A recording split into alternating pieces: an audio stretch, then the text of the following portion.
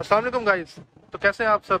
Welcome to my YouTube channel BGM motor sports तो guys आप जैसे देख रहे हैं वीडियो में आपको सुजुकी कल्टस नज़र आ गई है तो माशाल्लाह से, और ये मेरे दोस्त की कल्टस है, माशाल्लाह उसने ये न्यूली परचेज की है, और उसके साथ साथ आज इसका एक बड़ा ही डेप्थ रिव्यू करने के लिए हम यहाँ पर मौजूद हैं ताकि आपको गाड़ी के इंटीरियर एक्सटीरियर के बारे में बताया जाए और फिर जो उसकी प्राइस डिटेलिंग है वो भी और अराउंड करंट प्राइस अपडेट्स के बारे में आपको मतलब थोड़ा सा गाइड किया जाए ताकि आपको लेटेस्ट इन्फॉर्मेशन से मतलब अवेयरनेस हो सके, ठीक है? तो चलते हैं गाड़ी के एक्सटीरियर की तरफ़। तो जैसे कि आपको पता है कि बेसिकली कल्टस जो है ये 2019 मॉडल वेरिएंट है। और ये वी एक्सएल वेरियंट है जिसमें आपको आइडिया है कि मतलब इसके अंदर जो मेन ऑप्शन है वो ऑटो ऑटो होते हैं ऑटो ऑप्शन हैं और जिसके अंदर मल्टीपल फीचर्स हैं।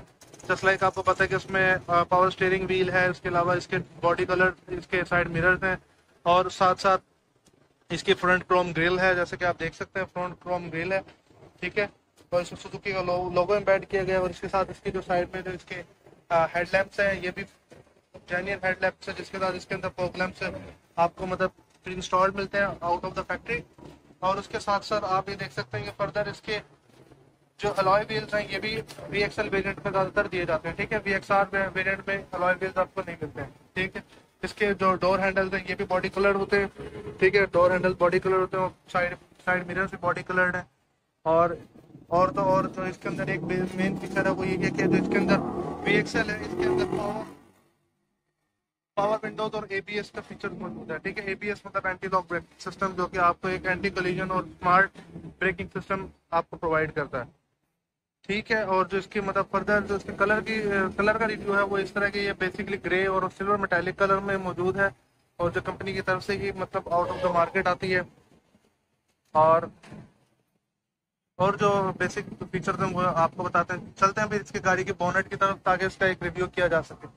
So get to the bonnet and for the detail review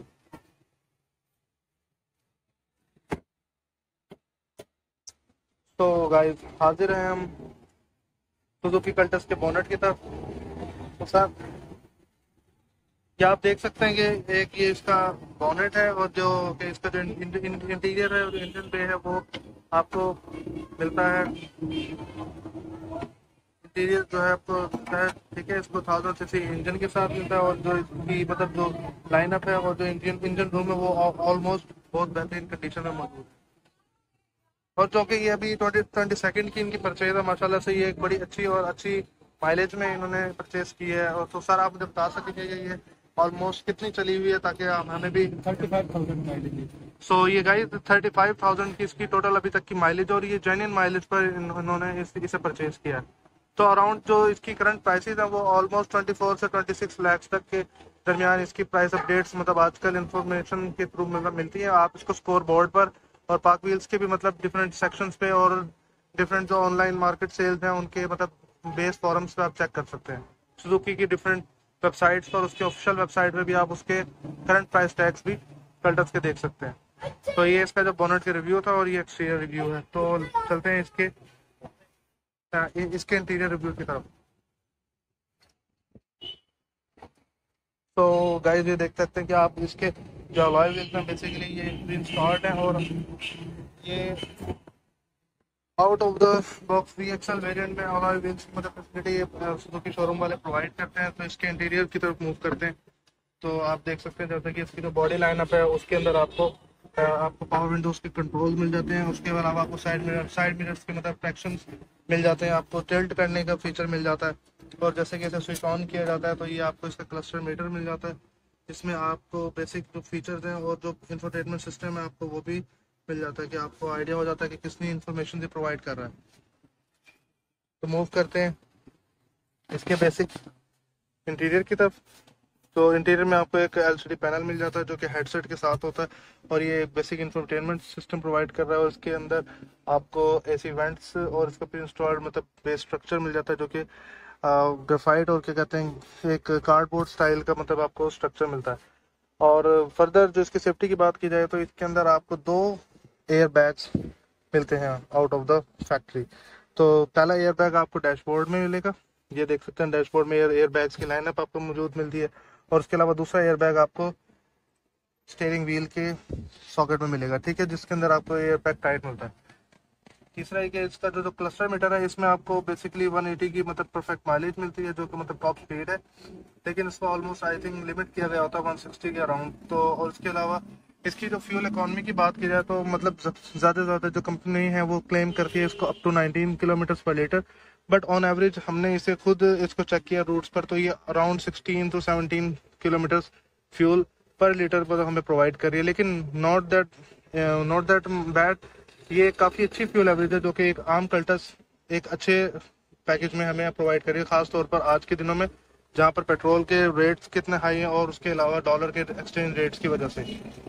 तो महँगाई को मद्देनजर रखते हुए देखा जाए तो ये एक अच्छी फ्यूल एवरेज कार है जो कि हमें एक अच्छे माइलेज और एक अच्छे फैमिली प्लान के लिए लेकर चलती है। तो इसकी जो सिटिंग प्लान है वो आपको दिखाता हूँ। जो बेसिक इसकी कुशनिंग है उसको सिविक स्टाइल में बेसिकली सिल्वर और ग्रे के साथ इसको मतलब ट्यून किया गया है। फर्दर इसके अंदर पाँच से पाँच सीटिंग्स की प्लान हुई है उसके अलावा आप फाइव सीटर प्लान बॉडी है इसकी। जिसमें आपको इसके टोटल रिव्यू मिलता है, जिसमें आप दो दो अडल्ट और चार एडल्ट और उसके साथ एक बच्चे को बिठा सकते हैं या फिर चार अडल्ट को इजीली मतलब ड्राइव ऑन के लिए लेकर जाया जा सकता है। मोर ओवर जो गाड़ी के मतलब इंटेरियर लुक है वो बहुत खूबसूरत है। उसके अलावा इसकी डिक्की की तरफ़, यानी बूट की तरफ़ मूव करते हैं ट्रंक की तरफ़। तो हमें ट्रंक में मिलता है सिटिंग कैपेसिटी चेक करते हैं। तो इसका जो बेसिक ट्रंक साइज़ है, जो कि आपको एक, इसके अपने कार्ड बोर्ड के साथ मिलता है, जिसके अंदर स्मॉल सॉर्ट ऑफ़ मतलब चीज़ें रख सकते हैं। उसके अलावा आप इसमें दो बड़े सूट केस और उसके साथ चार छोटे सूट केस की आपको इसमें एक अच्छी फैसिलिटी मिलती है, जो कि एक अच्छी एफिशिएंट स्पेस है एक गाड़ी के अंदर मूव ऑन करने के लिए। ये गाड़ी एक एक्सटीरियर रिव्यू है इंटीरियर रिव्यू है from the back rear view side and this is all from the side of Suzuki Cultus तो गाइस ये एक बेसिक क्या कहते हैं कि रिव्यू हो सकता है सुजुकी कल्टस का, जिसमें आपको कल्टस के बारे में काफ़ी हद तक चीज़ें पता चल गई होंगी। और ये आज के दौर में मैं कहता हूँ कि एक कम से कम ये बजट कार के तौर पर भी जानी जाती है, जबकि आपको सुजुकी ऑल्टो वगैरह प्राइसेस में ज़्यादा हाई मिलते हैं। तो मैं, मेरा मसला ये है कि आप न्यू गाड़ी परचेज करने से पहले आप कम से कम एक बार यूज़ गाड़ी, गाड़ियों को एक बार रिव्यू करें, ताकि आप अपना माइंडसेट बना सकें for purchasing selected cars so guys आज तक के लिए इतना ही। इस वीडियो में आपको जो इन्फॉर्मेशन सूटेबल लगे तो आप उसके बारे में फीडबैक दें और फर्दर मुझे अपने कमेंट से रिप्लाई करें और फीडबैक प्रोवाइड करें ताकि मैं आने वाली वीडियोस को अपडेट कर सकूँ। Thank you this is Basit Ali signing off Allah Hafiz.